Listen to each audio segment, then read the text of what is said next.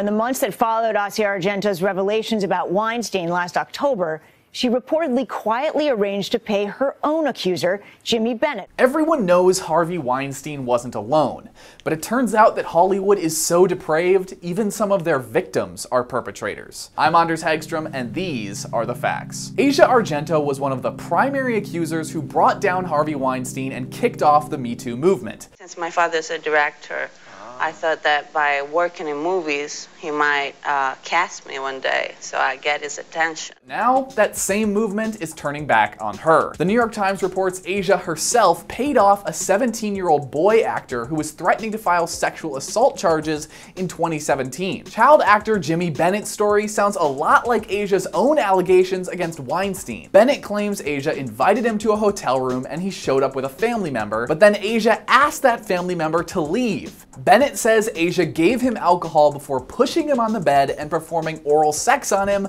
before having intercourse. He was two months past his 17th birthday at the time, and the age of consent in California is 18. Not only that, but Asia had known Bennett since he was a six-year-old boy when she played his mother in a movie. Look at the bunny.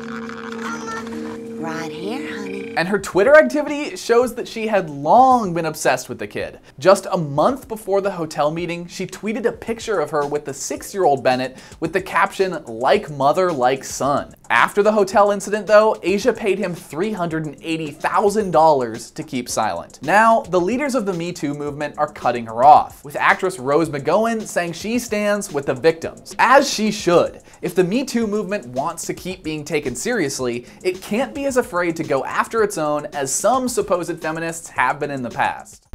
You know, I'm not sitting here as some little woman standing by my man like Tammy Wynette.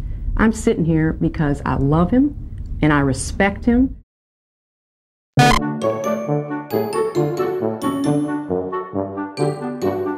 Mark A. Kinnard commented on our video about Omarosa from last week saying, she is slow cooking orange like a rotisserie chicken, dot dot dot, slow, comma, juicy and brutally painful. Enjoy the ride. I have no idea what that means. I have zero idea. Maybe orange is a reference to Trump, like Omarosa is cooking Trump or something? I'm thoroughly confused. I have no idea. I don't think even Mark knows. Diane and Jane both called Omarosa a snake. I just thought it was funny they both ended up using the same snake emoji. It's like little green snakes and they both commented right next to each other. It's just two, it's like a coordinated snakeifying, you know?